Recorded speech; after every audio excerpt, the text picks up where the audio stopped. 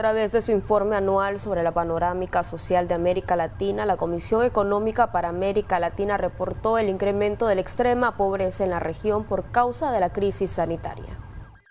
La Comisión Económica para América Latina y el Caribe, a través de su informe anual Panorama Social de América Latina, estimó que entre los años 2020 y 2021 se incrementó la pobreza extrema del 13.1% al 13.8%. Esto equivale a que la cantidad de personas en esta situación pasaría de 81 a 86 millones, causando un retroceso de 27 años por causa del impacto de la crisis sanitaria, la que permanece vigente en esta región, considerada la más vulnerable ante la COVID-19. El estudio también evaluó que la tasa de pobreza general tuvo una leve disminución del 33 al 32.1%. La CEPAL recalcó que mientras no se tenga el control de la crisis sanitaria, la recuperación de la economía no será sostenible. El informe reflejó que la región presenta el mayor número de muertes por el COVID-19 a nivel global de 1.562.840 25 defunciones hasta el 31 de diciembre del año 2021, cifra que seguirá creciendo mientras la pandemia persista. Estas representan el 28% de total de fallecimientos a causa del virus informadas en el mundo. Pese a que la población de la región apenas asciende al 8.4% de la población mundial, también el organismo hizo un llamado a incrementar los esfuerzos en completar los esquemas de vacunación de tal forma que a mediados del año 2021 2022 todos los países de la región tengan vacunada al 70% de su población. En Acción 10, Geraldine Domínguez.